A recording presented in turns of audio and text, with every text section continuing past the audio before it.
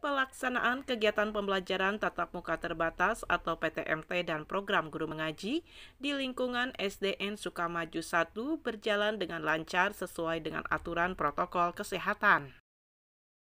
Menurut penjelasan Satuan Tugas COVID-19 sekaligus sebagai guru pengajar Lilis Karmini, para siswa yang mau melaksanakan kegiatan pembelajaran tatap muka terbatas atau PTMT diharuskan melaksanakan protokol kesehatan dan setelah masuk ke ruang kelas tempat duduknya diatur jaga jarak sesuai aturan protokol kesehatan.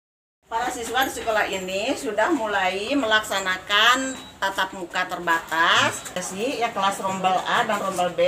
Dan sebelum masuk ke ruangan kelas, kami melaksanakan uh, pengukuran suhu dulu. Sekolah, tunggu, hei. Sangat tempat cuci tangan untuk mencuci tangan uh, sebelum masuk ke kelas. Sesuai protokol kesehatan, jaraknya coba yang sudah ditentukan.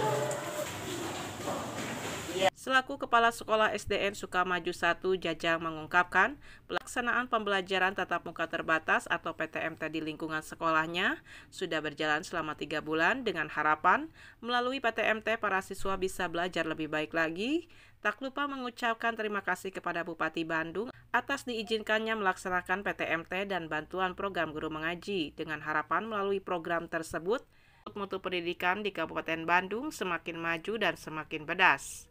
Sukamaju 1 Kecamatan Cimaung Kabupaten Bandung telah berjalan tiga bulan melaksanakan PTMT. Dua untuk pelaksanaan PTMT itu dua season, maksudnya satu jam. Tahan eh, dengan adanya PTMT ini eh, pembelajaran eh, di SD Sukamaju 1 bisa cepat normal. Mudah-mudahan dengan pelaksanaan PTMT ini pembelajaran semakin meningkat dan berterima kasih kepada Bapak Bupati Haji Dadang Supriyatna telah memberikan program guru mengaji dan mudah-mudahan Kabupaten Bandung semakin pedas.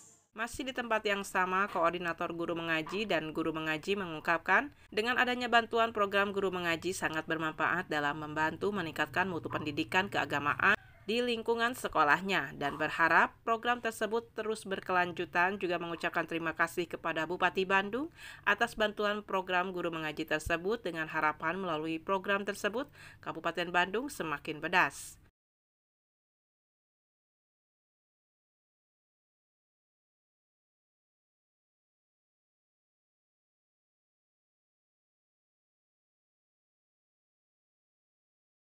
Adanya program guru mengaji ini, kami para guru madrasah bisa berbagi ilmu bersama anak-anak yang ternyata tidak semua anak-anak yang sekolah itu mengaji di kampungnya. Terima kasih banyak kepada Bapak Bupati yang telah menyelenggarakan program guru mengaji ini. Harapannya semoga ke depannya program mengaji ini terus berkelanjutan dan Kabupaten Bandung semakin bedas. Sama itu, satu penjumlahan, pecahan, dan penyebut sama ya. Pengertian dari ayat ini bersama-sama. Subhanallah. Kabupaten Bandung siap melaksanakan PTMT dan program guru mengaji. Kabupaten Bandung. Dari SDN Sukamaju 1 Kecamatan Cimaung, Kabupaten Bandung, Agus BR Hadas TV mengabarkan.